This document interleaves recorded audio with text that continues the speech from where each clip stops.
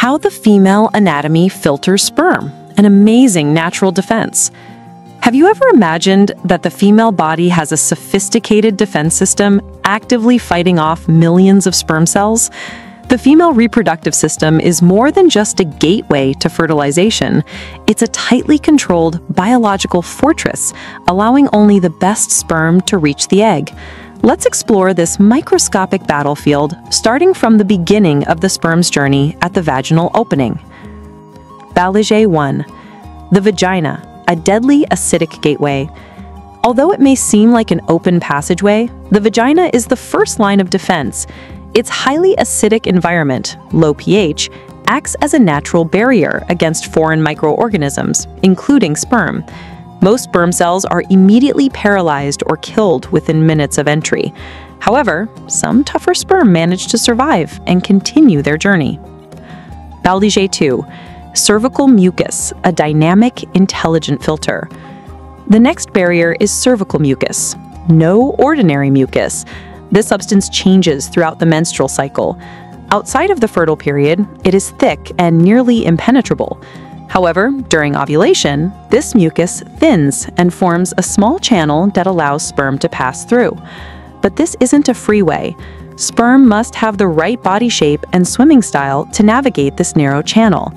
In fact, the cervix also releases special chemical signals. Sperm that can't respond properly become stuck or trapped in small crevices called cervical crypts, regarded by the immune system. If sperm successfully pass through the cervix, the next challenge awaits in the uterus. This is where the woman's immune system springs into action. White blood cells patrol the uterine wall, recognize sperm as foreign, and attack them much like an army of micro Pac-Man creatures that devour anything that isn't part of the body. Interestingly, during ovulation, the uterus also produces subtle contractions. These movements may act as an indirect aid that propels sperm toward the fallopian tubes. Bullet 4. The fallopian tubes, a fierce final selection. After passing through the previous defenses, only a handful of sperm, out of millions, make it to the entrance of the fallopian tubes. These tubes are very narrow and act as a final filter. Those that do make it through must undergo one final process, capacitation.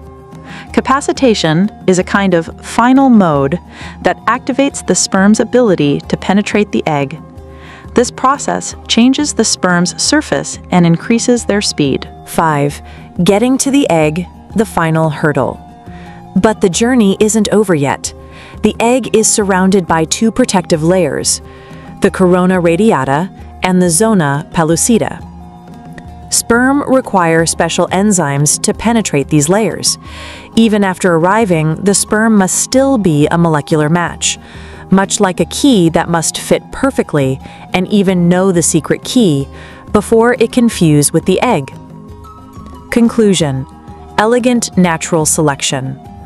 From the acidic environment to molecular filtration, the female body has developed an incredibly complex defense system. Its purpose?